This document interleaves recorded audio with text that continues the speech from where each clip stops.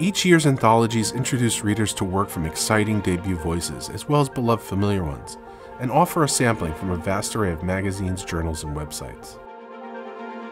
A series editor comes through hundreds of print and online publications to find the best writing of the year.